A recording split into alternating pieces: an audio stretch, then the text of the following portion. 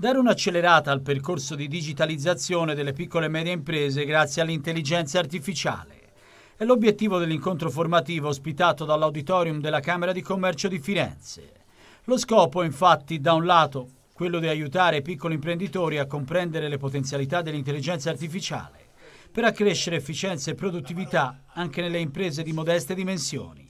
Dall'altro, quello di sostenere lo sviluppo di competenze digitali necessarie per rimanere competitivi sul mercato. Questo è un incontro volto a divulgare al meglio le grandi potenzialità, soprattutto verso le piccole e medie imprese, della intelligenza artificiale. Lo facciamo con un momento teorico, ma lo facciamo anche con un momento più applicativo, perché le imprese potranno dal, con Devisu, proprio con delle applicazioni pratiche, con verificare in presenza le grandissime opportunità e potenzialità che dà al loro ciclo produttivo, alla loro attività corrente l'intelligenza artificiale, quindi aspetto teorico e aspetto pratico. Questo è un percorso di divulgazione che il sistema camerale fa a livello nazionale con solo quattro tappe in Italia. Firenze è una di queste. Focus dell'azione formativa è l'esplorazione dell'intelligenza artificiale generativa per innovare processi e servizi, rielaborare dati, ottimizzare la comunicazione interna ed esterna e molto altro. In generale direi che l'intelligenza artificiale generativa è un assistente personale, nel senso che è una risorsa che può essere posta accanto a ciascuno di noi, sia questi l'imprenditore o le persone che lavorano in azienda, per dargli una seconda prospettiva, quindi dargli degli spunti, affrontare magari quelle che possono essere le problematiche che stanno dietro una decisione, oltre ovviamente a, eh, a, crescere in modo molto significativo tutto ciò che ha a che fare con la produttività personale. L'incontro si è svolto nell'ambito del progetto Ital IA Lab, promosso da Fondazione Mondo Digitale in collaborazione con Microsoft Italia.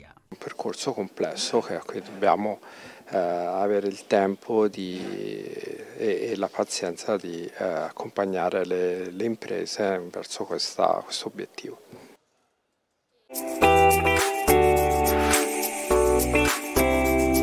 Parte la nuova piattaforma per i certificati di origine. Due seminari informativi programmati. Uno in presenza al prossimo 28 ottobre dalle 9.30 alle 12.30 nell'auditorium camerale e uno a distanza il 29 novembre dalle 14.30 alle 17. Per iscriversi agli eventi utilizzare il link dedicato sul sito della Camera di Commercio di Firenze.